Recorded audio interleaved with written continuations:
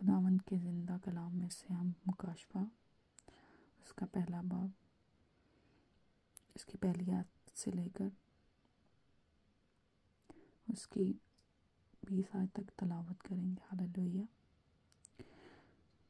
आज का कलाम आपकी ज़िंदगियों में सेम न ठहरे और खुदा का कलाम आपकी ज़िंदगी में गहरा जड़ पकड़े और आप सौ गुना फल लाने वाले बनो। अमीन यीशु मसीह का मुकाशफा जो उसे खुदा की तरफ़ से इसलिए हुआ कि अपने बंदों को वो बातें दिखाए, जिनका जल्द होना ज़रूर है।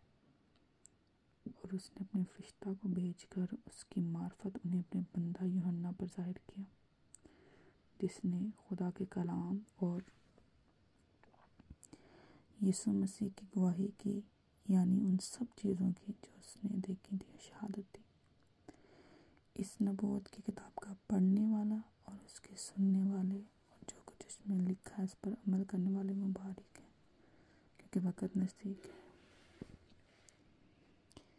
यूहन्ना की जानब से उन सात कलिसियों के नाम जो आसिया में है, उसकी तरफ़ से जो है, जो था, जो आने वाला है, और उन सात रूहों की तरफ़ से जो उसके तख्त के सामने है, और यीशु मसीह की तरफ़ से जो सच्चा गवाह और मर्दों में से झूठने वालों में पल उठा और दुनिया के बादशाहों पर हाकिम है। तुम्हें फजल और इतमान हासिल होता रहे। जो हमसे मोहब्बत रखता है और जिसने अपने खून के वसीले से हमको गुनाहों से खलासी बख्शी। और हमको एक बादशाही भी और अपने खुदा और बाप के लिए काहिम भी बना दिया। उसका जलाल और सल्तनत अबदा अब्दुलाबाद रहे, आमीन। देखो वो बादलों के साथ हर एक आँखों से देखेगी। और जिन्होंने उसे छेदा था, वो भी देखेंगे। और ज़मीन पर के सब कबीले उसके सबब से छाती पीटेंगे। बेशक, आमीन। खुदावंद खुदा जो है और जो था और जो आने वाला है, यानी कादर मतलब फरमाता है कि मैं अल्फ़ा और ओमेगा मैं यूहन्ना, जो तुम्हारा भाई और यीशु मसीह की और यीशु की मुसीबत और बादशाही और सब्र में तुम्हारा शरीक हो। खुदा के कलाम और यीशु की नस्बत गवाही देने के बायस उस टापू में जो पतमस कहलाता है कि खुदा उनके दिन रूम में आ गया और अपने पीछे नरसिंह की सी यह एक बड़ी आवाज़ सुनी कि जो कुछ तूने देखा, जो कुछ तू देखता है उसको किताब में लिख, कर सातों कलिसियों के पास भेज दे। यानी इफ्सिस और समरना और पुरगमन और तवातीरा और सरतेस और फलतिफिया और लदिकिया में। मैंने उस आवाज़ देने वाले को देखने के लिए मुँह फेरा, जिसने मुझसे कहा था और फिर कर सोने के साथ चिरागदान देखे और उन चिरागदानों के बीच में आदिम साथ सा एक शख्स देखा जो पाँव तक का जामा पहने और सोने का सीना बंद सीना पर बांधे हुए थे, बांधे हुए था।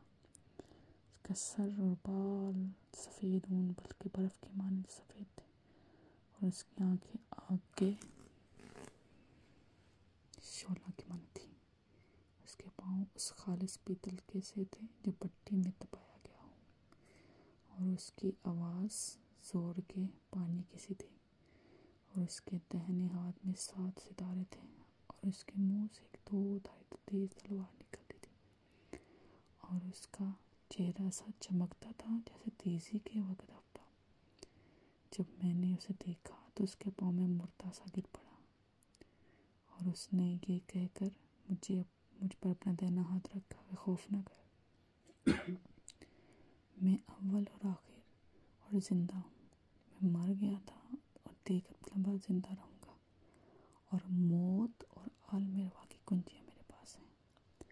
बस जो बातें तूने देखी हैं और जो हैं और जो उनके बाद होने वाली हैं, उन सबको लिख ले। यानी उन सात सितारों का बेज जिन्होंने, जिन्हें तूने मेरे दाहिने हाथ में देखा था।